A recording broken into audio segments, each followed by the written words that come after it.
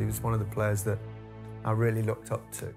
Was never selfish, and that was something that epitomised him. Well, it's not even a gamble, you know, buying a player like him, because he's, he's pure gold. Signing him for me was the best bit of business Man United had ever done. Did I ever have a tougher opponent? No.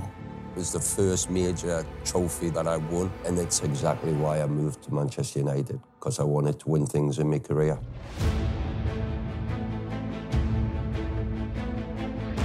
He was the outstanding player in the league.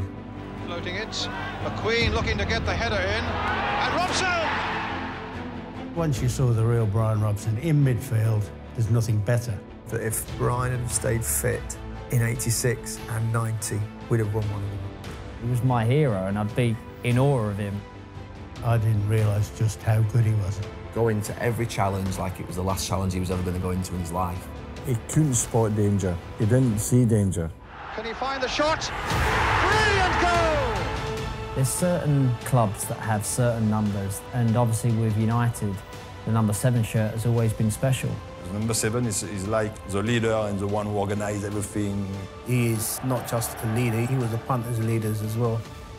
Thanks, Bryan.